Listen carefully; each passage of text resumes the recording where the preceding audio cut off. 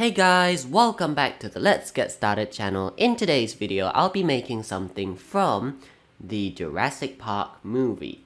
Now, to spice things up a little bit, I'll be making it in extreme detail. Alright, let's get started, shall we?